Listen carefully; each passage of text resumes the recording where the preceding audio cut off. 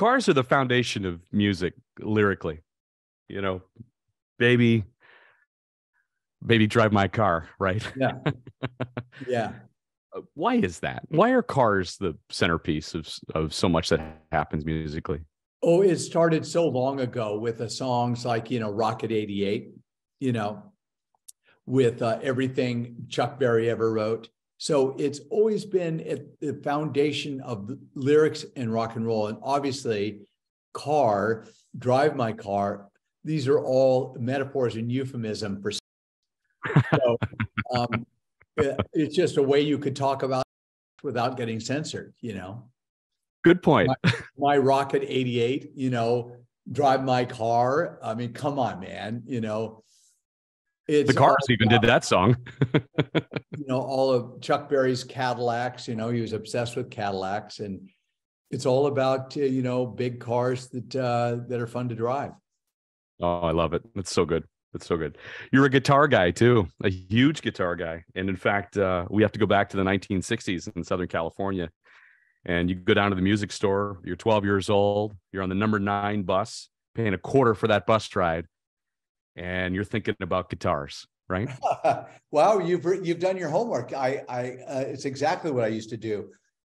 So there was a a string of uh, music shops and pawn shops in Santa Monica and I would go there every weekend, Saturday morning, right before opening time. I'd be down there by 10 a.m.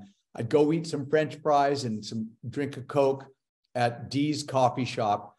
Then I'd start making my rounds. Uh, I would just go from one pawn shop to another, Ace Pawn and Loan, uh, to Bay City Music, to Cunningham Music, to another pawn shop, finishing the day at the flagship Santa Monica Ace Music up on Santa Monica at about 7th Street.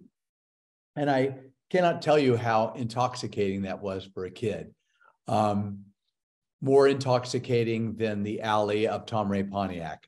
And uh, I, I just looked at these, you know, guitars from the the ceiling on, on three walls and a big window in front and amps all over the ground laid out real nice.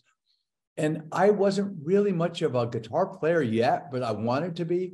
And I just was fascinated with the guitars themselves and the older guys that would come in to play them.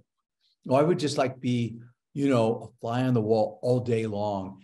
And yeah, I bought my first vintage guitar there, which was an old Telecaster. Um, and uh, that got stolen in short order, unfortunately. But my second guitar I also bought there was a 1968 brand new Gibson Les Paul Gold Top. Mm. And uh, man, I love that guitar. And uh, yeah, that was my thing, man. Ace music on a Saturday with all the other ones thrown in. You still have the 1959 Les Paul Standard as well?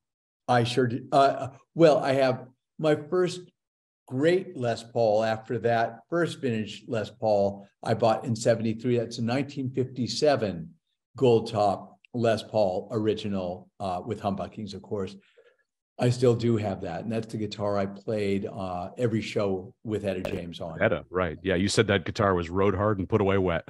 Oh my God, yeah, that thing looks like it looks like Keith Richards' dad. It's just like it it is definitely rode hard and put away wet.